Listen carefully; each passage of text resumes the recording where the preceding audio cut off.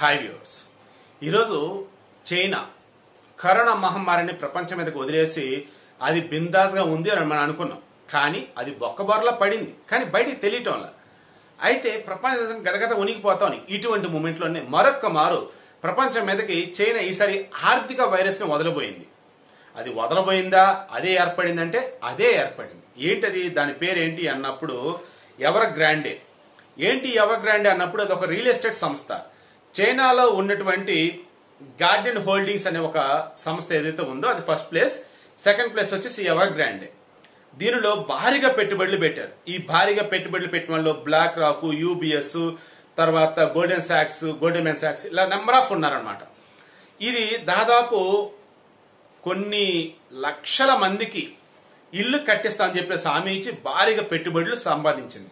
And ఇది investment చేసిన వాళ్ళు భయంకరంగా ఉన్నారు. ఎంతగా అంటే ఈ సెప్టెంబర్ ఇరవై మూడు అండ్ ఇరవై తొమ్మిదికి వాళ్ళ బాండ్లు ఏవైతే వాటికి వడ్డీ చెల్లించాల్సి ఉంది. బట్ ఈ ఎవర్ గ్రాండ్ పొజిషన్ ప్రజెంట్ ఏంది అంటే అందులోనే ఎంప్లాయీస్కి శాలరీస్ ఇచ్చే పొజిషన్ కూడా లేదనమాట దాంతో ఒక్కసారిగా చైనా మార్కెట్లో కొలాబ్స్ అది ప్రపంచ మార్కెట్లో కొలాబ్స్ ఇది ఎంత దూరం వెళ్ళబోతోంది అంటే ప్రపంచ మార్కెట్లో కొలాప్స్ అవుతున్నటువంటి మూమెంట్లో విపరీతంగా బంగారం ధరలు పెరగబోతా ఉన్నాయి.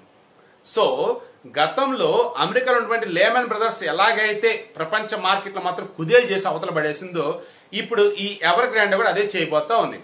వాస్తవానికి దీని యొక్క మార్కెట్ విలువ ఎంత అన్నప్పుడు ఇరవై మూడు లక్షల కోట్లు అంటే మూడు వందల ఐదు బిలియన్ డాలర్లు అన్నమాట. ఈ సెప్టెంబర్ ఇరవై మూడు ఇరవై తొమ్మిదిలో ఆ బాండ్లు ఏవైతే ఉన్నాయో ఇందులో ఇన్వెస్ట్ చేసిన వాళ్ళు వాళ్ళకి డబ్బులు ఇవ్వాల్సి ఉంది. డబ్బులు లేవు. ఇంకేముంది? రేపు ఎల్లుంటే బిచాన్ ఎత్తేసిద్ది ఇంకంతే.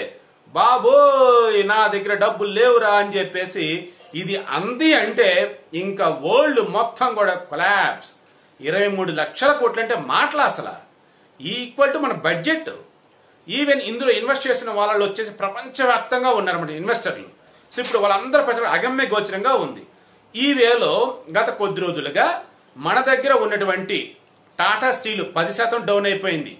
తర్వాత జిందా స్టీలు ఇంకా మరికొన్ని స్టీల్ కంపెనీలు ఇవన్నీ కూడా ఆ, ఎవర్ గ్రాండేకి ఇవన్నీ సప్లై చేస్తూ ఉంటాయి సో కన్క్లూజన్ ఏంటి అంటే ఈరోజు ప్రపంచవ్యాప్తంగా మార్కెట్లో కొలాప్స్ అవుతూ ఉండటం కావచ్చు చైనాలో ఒక రకమైనటువంటి దారుణమైన సిచ్యువేషన్ నెలకొనడం కావచ్చు కారణం ఎవర్ గ్రాండే బికాస్ అక్కడ ఉన్నటువంటి కొత్తగా ఇల్లు ఎవరు కొంటలా అండ్ ఎవర్ గ్రాండే ఏదైతే ప్రాజెక్ట్స్ టేకప్ చేస్తుందో వాటిలో ఇన్వెస్ట్మెంట్స్ ప్రాపర్ వేళ రావట్లా? అండ్ కొనే వాళ్ళు లేరు.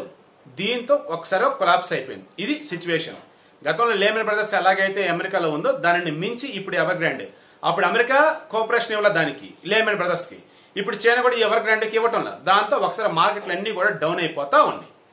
అండ్ మెయిన్ విషయం బంగారం కొనాలి అనుకున్న వాళ్ళు ఎవరైనా ఉంటే దయచేసి రెండు రోజుల్లో కొనుక్కోండి. ఎందుకంటే స్టాక్ మార్కెట్లో కొలాప్స్ అయిపోయినంటే ఫస్ట్ జనాలంతా అంటే స్టాక్ మార్కెట్ ఇన్వెస్ట్ చేసే వాళ్ళు గోల్డ్ సైడే వెళ్తారు. వాళ్ళు గోల్డ్ సైడ్ ఇన్వెస్ట్మెంట్లు పెరిగాయంటే గోల్డ్ రేట్ పెరిగిద్ది.